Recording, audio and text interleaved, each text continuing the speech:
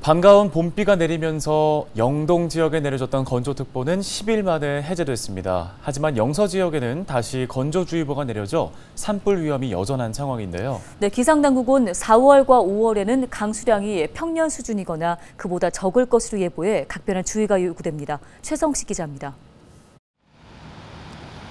이른 아침부터 봄을 재촉하는 반가운 비가 내립니다. 도심 속 공원에는 어느새 봄꽃들이 희고 붉은 꽃망울을 터뜨렸습니다. 겨우내 바싹 메말랐던 대지에 생기가 돌자 나들이 객들도 단비를 반깁니다. 뭐 오랜만에 깨끗해요, 나들이 그냥. 나와서 온몸이 다 씻기는 느낌? 마음이 정화되는 느낌? 그거예요. 23일 태백에는 비가 19mm가량 내렸고 영월 10.1, 동해 8.8, 강릉 5.5mm의 강수량을 기록했습니다. 강원 지역 3월 강수량 평년값은 50mm 정도인데 강원 대부분 지역의 이달 강수량은 10에서 20mm에 불과합니다. 이번 비로 10일째 이어지던 영동 지역 건조특보는 모두 해제됐습니다.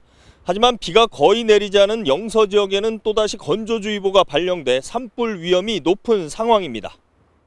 지난 22일 영월 지역 최고 기온은 27.6도까지 치솟았는데 기상 관측이 시작된 이래 3월 1 최고 기온 최고값을 갈아치웠습니다.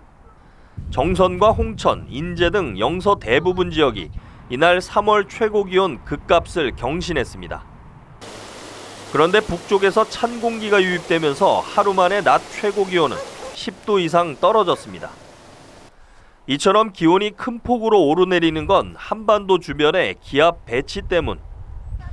강원지방기상청은 늦겨울 이동성 고기압의 영향으로 지면이 데워진 상황에서 다시 따뜻한 남풍이 유입되면서 높은 기온을 나타냈다고 설명했습니다.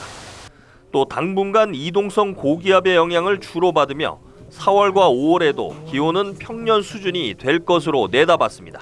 강수량은 평년보다 평- 평년과 비슷하고 5월에는 평년보다 적거나 비슷할 것으로 예상됩니다. 따라서 봄철 강원도는 건조한 대기가 지속될 것으로 기상 전문 IT 기업 웨더아이는 올해 강릉 경포호수 일대는 오는 31일, 춘천 소양강댐 일대는 4월 7일 벚꽃이 피어 평년보다 4에서 5일가량 개화 시기가 빨라질 것으로 예상했습니다. 헬로티비 뉴스 최성식입니다.